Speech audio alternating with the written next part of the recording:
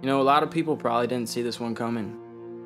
When people think of me, I don't think they'd ever view me as some rapper or someone who would even make music. And I didn't either until recently. After my grandpa passed away, I was in a locked cell of depression, and life became dark. Very dark. All my little like self-doubts and problems I was barely dealing with became something way scarier. It's like these demons saw me at a vulnerable state and thought of it as some like feeding frenzy of emotion. I started writing to help cope with the thoughts that have been attacking me over the last two years.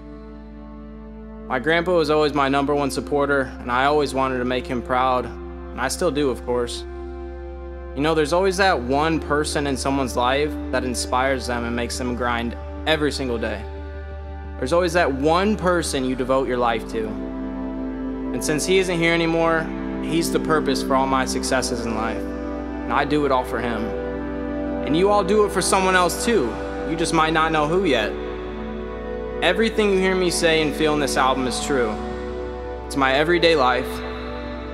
And I know some people feel the same way, so maybe they can relate. Maybe I can give them hope and show them that they're not alone.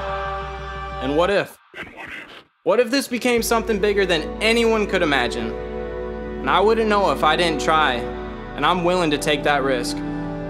I appreciate you taking the time to give this a listen.